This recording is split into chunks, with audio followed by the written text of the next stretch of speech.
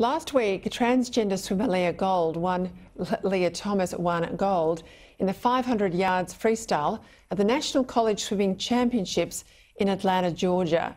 Thomas, a biological male, was allowed to compete against women at the championships because she's been undergoing testosterone suppression treatment for over a year.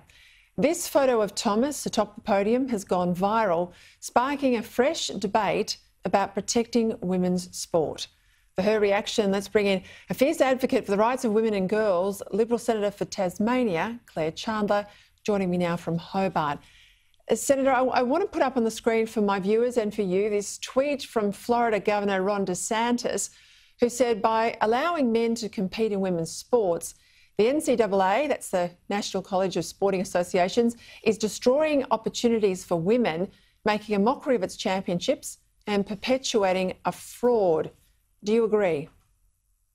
Oh, absolutely, Peta. I couldn't have said it better myself. And I think the other really important thing that uh, the Lia Thomas case has really uh, shown and, and catalysed for people is just how unfair it is to have biological males competing in women's sport. I mean, the, the picture you showed um, says it all when there are three other women on the podium who should be getting gold, silver, and bronze, and they're not. They're receiving silver, bronze, and they're in fourth place because a biological male has uh, as you would expect, pip them to the post in the pool. And it is clearly demonstrated that it's unfair to have biological males competing in sport. But what we have to remember, Peta, is that this doesn't just apply at the elite levels of sporting competition. This goes right down to the community level. Women and girls are entitled to fairness on and an even playing field at all levels of sport, not just in professional and elite competition. Well, you're spot on because you won't have women at elite level uh, if they're not confident, they don't learn the skills, they don't progress through the lower ranks in sport. And we know we have a real trouble keeping young women engaged in sport, particularly through the teenage years. It's one of the reasons we have uh, such a high obesity rate and overweight rates uh, here in Australia, as we do in the United States and elsewhere. But that's part of the solution is, is exercise for young girls. Would your bill, your Save Women's Sport legislation, stop this situation from happening in Australia?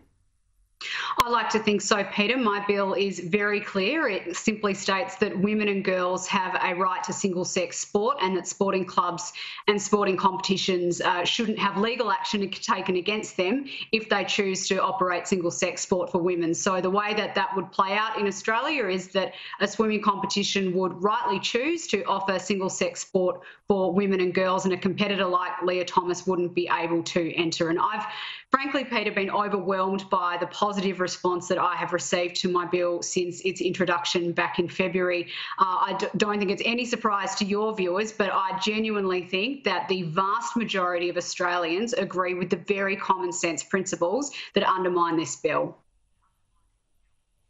And look, it's interesting too, when I looked at that Lia Thomas photograph that went viral, uh, there were a lot of people tweeting and responding underneath it, uh, claiming that they were transgender themselves, but they think this is a backward step for transgender people like them. Now, whether that's true or not, I think it's got, uh, I think this issue has galvanised the debate about women and girls.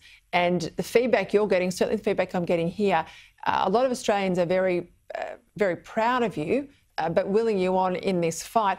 Um, we saw the Prime Minister support your bill in that recent visit to Tasmania. Uh, Parliament's back next week. How's the response been from your colleagues?